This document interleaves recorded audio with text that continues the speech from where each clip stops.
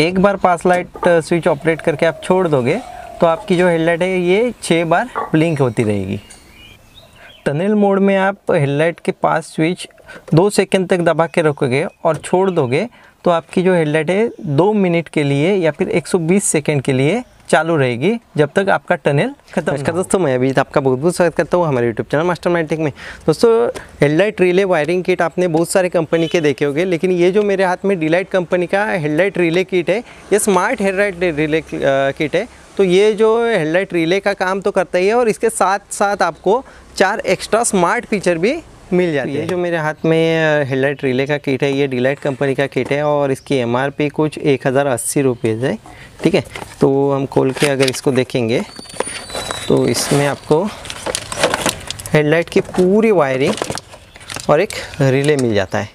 और रिले में ये दो एक्स्ट्रा वायर्स आते हैं तो वायरिंग हम देखने वाले हैं। तो ये वायर और ये रिले के कारण हमें स्मार्ट फीचर भी मिल जो वायरिंग किट है इसमें काफ़ी अच्छे गेज के वायर्स यूज़ किए गए हैं। इसके बाद प्रोटेक्शन के लिए दो फ्यूज़ दिए हुए हैं लो बीम हाई बीम के लिए। और ये जो रिले ये स्मार्ट रिले दिया हुआ है। तो वायरिंग तो रेगुलर ही है, जो हम एच फोर का वायरिंग अब तक आते थे बहुत सारी कंपनी के तो वही है। सिर्फ़ रिले में चेंजेस है, ये जो रिले है उसमें स्मार्ट सर्किट यूज़ हुआ है।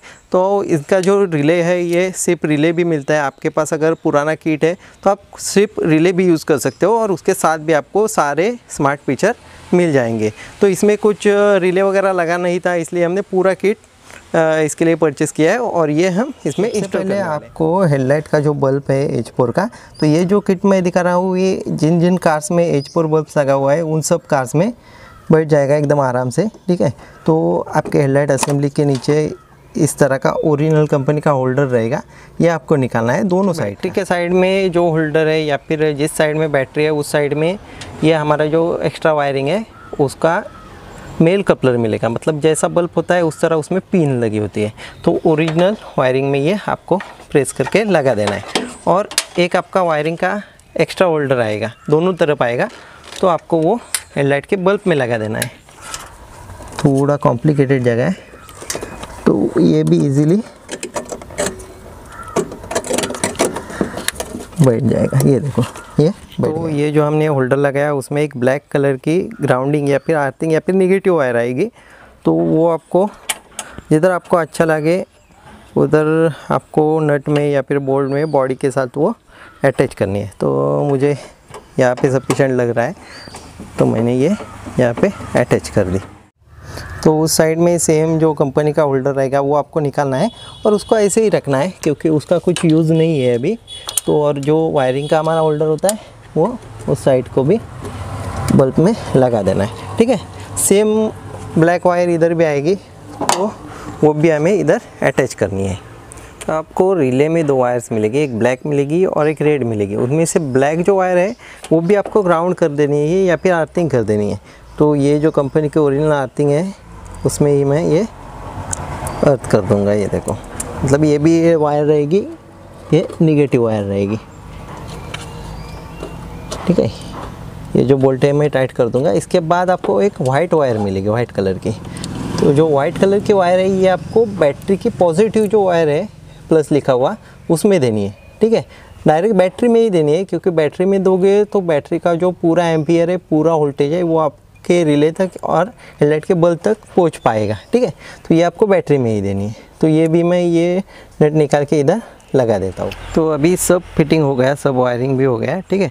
तो अब सिर्फ़ बच गई ये वायर ये देखो, ये लाल कलर की वायर है और इधर लिखा है पॉजिटिव आईजीएन मतलब पॉजिटिव इग्निशन मतलब ये जो वायर आपको उधर देनी है, जिधर आप चाबी ऑन करते हो, तभी बारह वोल्ट आता है। चाबी ऑफ़ करने के लिए वोल्टेज चला जाता है ज़ीरो होता है। तो उधर आपको ये देनी है। अगर आपने ये बैटरी को दे दी तो ये जो स्मार्ट फीचर है, ये वर्क नहीं करेगा। तो आपको ऐसी वायर ढूंढनी है, जिधर चाबी ऑन करने के बाद ही 12 वोल्ट करंट या फिर वोल्टेज आ जाए, ठीक है? तो ये ऐसी वायर आपको मिलेगी। मारुति की गाड़ी है तो वाइपर मोटर में मिलेगी। और इस तरह के अल्टो एट हंड्रेड इस तरह की इग्निशन कॉयल है तो इग्निशन कॉयल की एक पिन में मिलेगी। और बाकी गाड़ी है मोस्टली वाइपर मोटर में मिल ही जाती है। वाइपर मोटर में अगर नहीं मिल जाए गई तो आपको एक वायर एक्सटेंड करके अंदर तक ले जानी है इग्निशन स्विच को, या फिर आपका म्यूज़िक प्लेयर लगा होता है, उसमें वैसी वायर आपको मिल जाती है। तो अभी हम इस गाड़ी के वाइपर मोटर में वायर ढूंढते हैं। उस रेड कलर के वायर को, एक येलो कलर के वायर हमने लगा के एक्सटेंड करके यहाँ तक लेके आए हैं, देखो। क्योंकि हम इसको जो पॉजिटिव बारह वोल्ट इग्निशन ये माइपर मोटर से देने वाले। तो अभी ये ढूंढे कैसे? एक वायर मल्टीमीटर की आप ग्राउंडिंग कर दो और सब पिन में आप देखोगे तो आपको 12 या फिर 13 वोल्ट ये देखो 13.4 वोल्ट आ रहा है। अभी चाबी ऑन है। अभी चाबी ऑफ़ करके देखते हैं। अभी चाबी ऑफ़ कर, ये देखो। चाबी ऑफ़ करने के बाद ज़ीरो हो गया। ठीक है? ये कंटिन्यूटी ओम वगैरह आ रहा है, क्योंकि ये ऑटोमेटिक मल्टीमीटर है। अभी चाबी ऑन करो।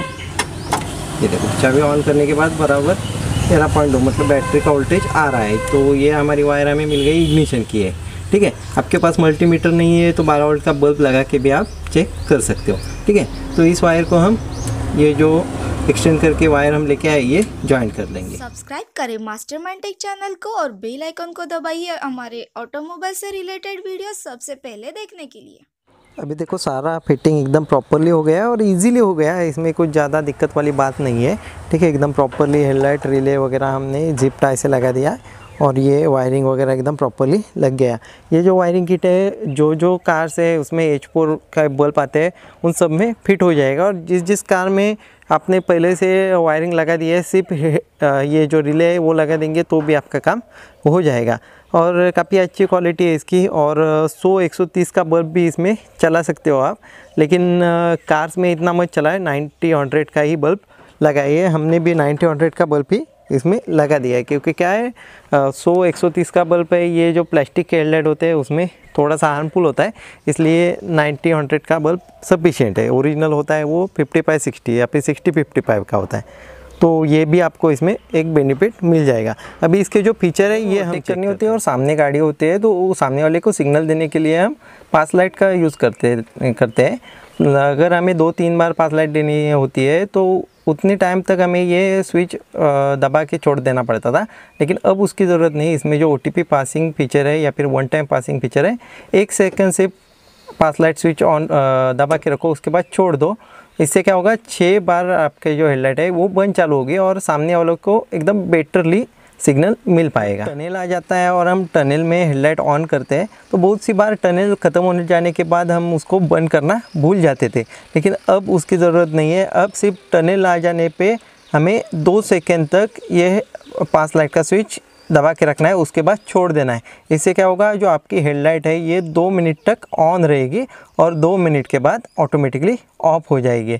इसमें आपका टनल भी क्रॉस होगा हेडलाइट भी ऑन रहेगी और ऑटोमेटिकली दो मिनट के बाद मतलब रेगुलरली दो मिनट में टनल ख़त्म हो जाता है। टनल ख़त्म हो जाने के बाद बंद हम हेडलाइट ऑन करके ही चाबी निकाल देते हैं और गाड़ी से बाहर जा चले जाते हैं। तो इससे क्या होता है हमारी जो बैटरी है वो ड्रेन हो जाती है हेडलाइट चालू रहने के कारण। लेकिन अब कुछ प्रॉब्लम नहीं है। अगर आप अब हेडलाइट भूल के चालू रख गए और निकल गए गाड़ी से, चाबी निकाल के।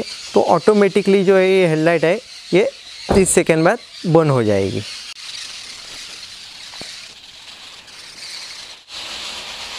ये देखो अभी बंद हो गई लाइट रहता है फॉलो मी लाइट क्या होता है, रात में हम जब गाड़ी बंद करके आते हैं, तब हमें आने में दिक्कत होती है क्योंकि अंधेरा होता है।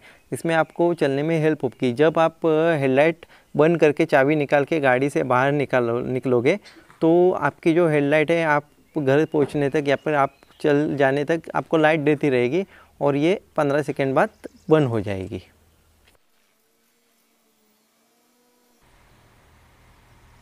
तो इस तरह जो हमारा है स्मार्ट हेडलाइट रिले जो है डिलाइट कंपनी का ये वर्क करता है और काफ़ी अच्छी क्वालिटी और फीचर भी हमें बहुत अच्छे इसमें मिल जाते हैं। आपको अगर ये पूरा वायरिंग किट या फिर सिर्फ़ रिले परचेस करना है तो डिस्क्रिप्शन में मैंने अमेज़ोन की लिंक दे रखी है। वहाँ जाके आप इसको परचेस कर सकते हो या फिर आपके लोकल एसेसरीज की शॉप पर भी ये आपको मिल जाएगा। तो आशा करता हूँ ये जो वीडियो ये वीडियो आपको बहुत अच्छा लगा होगा। अगर ये वीडियो आपको अच्छा लगा तो प्लीज़ ये वीडियो लाइक कर दीजिए, अपने दोस्तों के साथ शेयर कर दीजिए। और आप नए हो, आपने हमारा चैनल अभी सब्सक्राइब नहीं किया है तो हमारा चैनल भी सब्सक्राइब कर दीजिए, ताकि ऐसे ही नए नए वीडियो में आपके लिए बनाता रहता हूँ।